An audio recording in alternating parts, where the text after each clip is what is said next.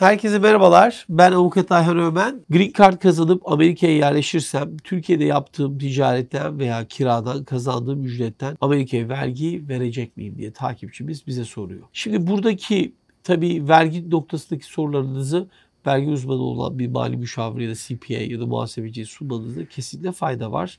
Bunu yapmanızı tavsiye ediyorum öncelikle. İkinci olarak da şunu söyleyebilirim. Eğer kişiler Amerika'da oturum hakkına sahip olursa yeşil kartlı olarak ya da Amerikan vatandaşı olarak evet Amerika dışında herhangi bir yerde elde ettikleri geliri de belirtmeleri gerekiyor. Dolayısıyla bu şu anlama gelmesin. Burada belli rakamlara kadar siz e, Türkiye'de vergisini ödediğiniz bir şeyin burada vergisini ödemek zorunda kalmayacaksınız. Ama beyan etme zorunluluğu var.